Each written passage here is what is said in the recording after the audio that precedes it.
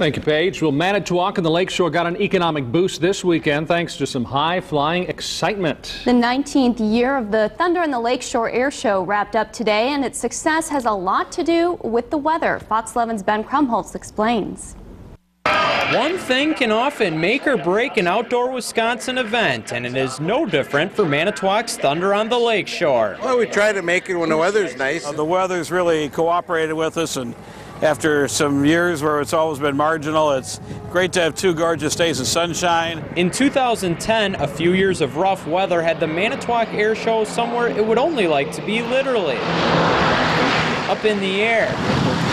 With better conditions last year, organizers say a second straight year of clear skies will help the events fly high into its 20th anniversary next summer. Last year we financially came out okay, which uh, helps us build a better show this year.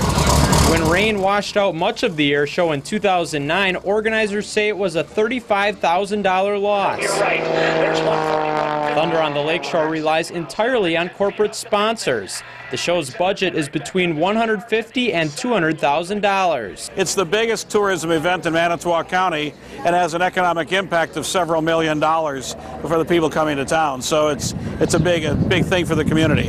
It's awesome to be back here and seeing it all over again. Admission to the event is $5. Organizers say the price hasn't changed in about 10 years, but they might raise the rate for next year. Uh, the past couple of years we talked about raising them, but the economy's been so bad we didn't want to cut into what people could afford. Even if the prices go up, people say they will still come.